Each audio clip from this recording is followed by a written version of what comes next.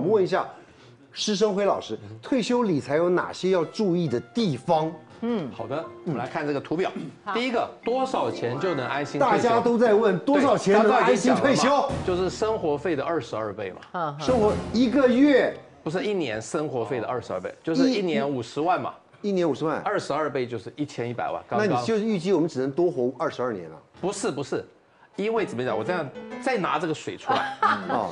有的人以为退休之后只有。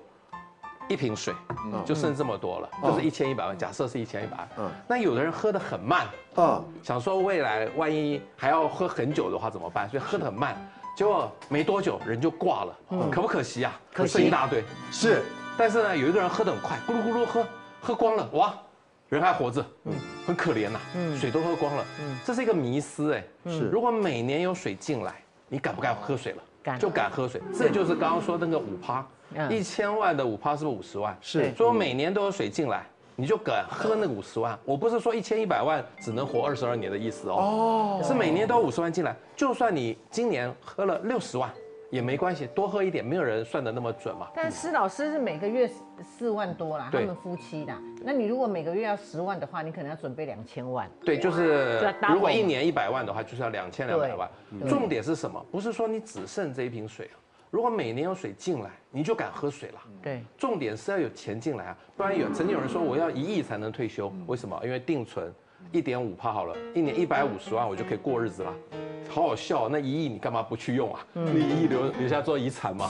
所以其实就是每年有水进来就，但是现在一个重点哦，你这个水进来是要很努力的让它进来，还是很轻松的让它进来？对，我觉得退休之后生活的精彩比钱的累积很重要。常常说啊什么那个人在天堂，钱在银行嘛，或者钱到国家不要心惊胆战，每天能够睡得好觉。对，我举个例子。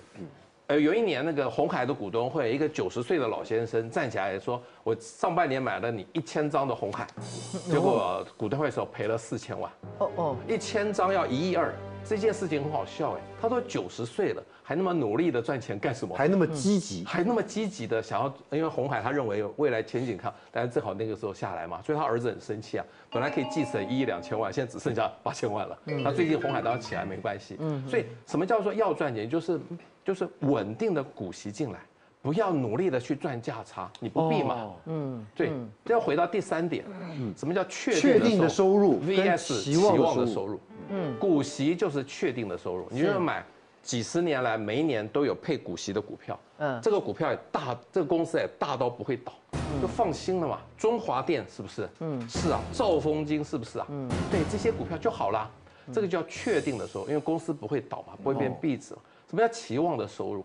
就是你想赚价差，嗯，哦，想侥幸，一年想赚十趴、二十趴，小小心一点哦，这个水就打翻了，你什么都没有了。嗯，期望的收入就可能让你的水打翻嘛。哦，确定的收入每天都进来，这个水还固定在这里啊。对，所以我觉得这就是一个退休最重要的，就是守重安全。你不要再想赚很多钱了啦，赚那么多钱干什么？给子女吗？哦，没必要嘛。你养大子女到大学毕业就仁至义尽了。嗯，剩下的钱呐。我也不做什么遗产税规划了，我就直接花光，就是我最好的对，千万不要打翻了。对对，假定弄破，绝对不能打翻。开心花钱，退休后都要打九折。没错，回到我二零一四年，我跟我太太去度一趟非常甜蜜浪漫的地中海游轮之旅。哇，五两个人五十万呢，我太太非常节俭。几天？几天？哦，十五天。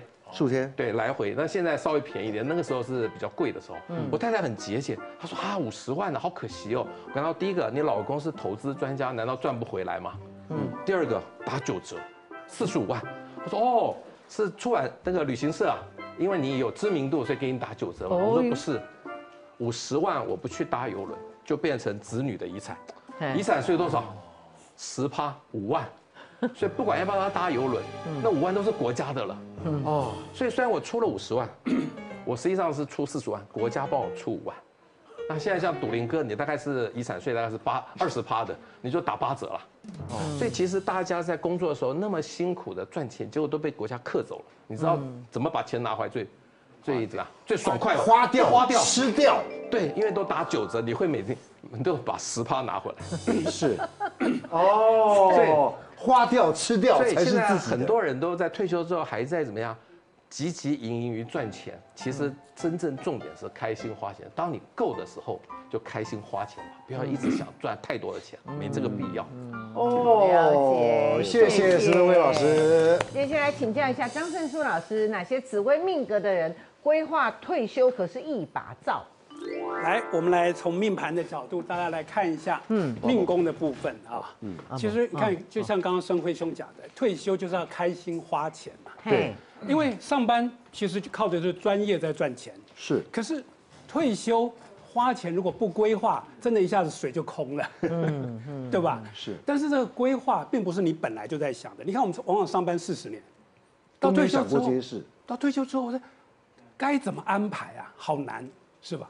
所以我们先看第一个，天机星去落到命宫的朋友了。哦，其实我们讲未雨绸缪，哎，天机这颗星基本上就符合这四个字了。哦比如说他三十岁就在想六十岁的事情，怎么会想得清楚呢？对不对？可是从天机的角度出发，他会觉得我不断的去修正我这张退休的这这个清单啊，是很开心的一件事情。你看以前的人讯息拿到很很难，现在啊网络上到处都是讯息，所以啊他会觉得我天天去 update 这个这个清单，把清单越 update 越好。哎，就算计划赶不上变化，可是我心里开心啊。嗯，所以当他想得很透彻的时候，真正到了退休的那时候，他就不会害怕了。嗯，这就是天机星，未雨绸缪。嗯，再来，贪狼星。哎呦，其实贪狼哈很渴望退休。你看我们讲上班呐啊，其实我们说啊，世界这么大，有多少地方还没去？人生有这么多的东西可以学，你多少东西还没学过？是可上班哪有时间可以学这些？哪有地方去旅行啊？可是退休之后，我是不是有太多的时间可以去做这些规划了？嗯，哎，活到老学到老。对贪狼来讲，所谓的多才多艺，有的时候往往是退休以后才开始的。嗯，因为你上班你根本没有空去学这些东西啊。哦，所以我看到好多贪狼的朋友退休后啊，他那个时间排的比上班还还要满。是他可以一个礼拜学八种记忆，为什么？他学的开心啊。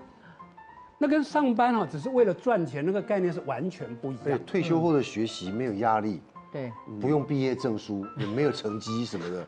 做不好也没关系。对啊对啊，而且你今天哈，你去画画，你画的不好有什么关系？对对不对？你开你是让自己开心就好了。是。再来第一个呢是太阳星。诶，其实我们刚刚讲退休，退休是在讲老本啊，没有老本不用谈退休啦，是对不对？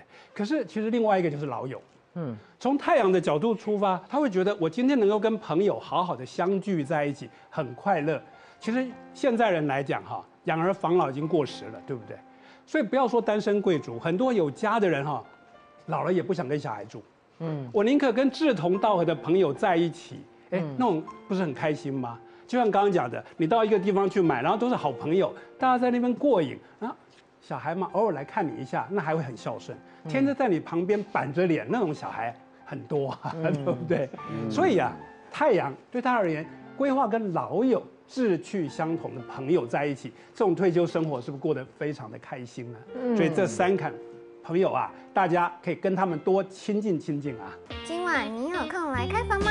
挑战吧大神麻将手游即刻下载。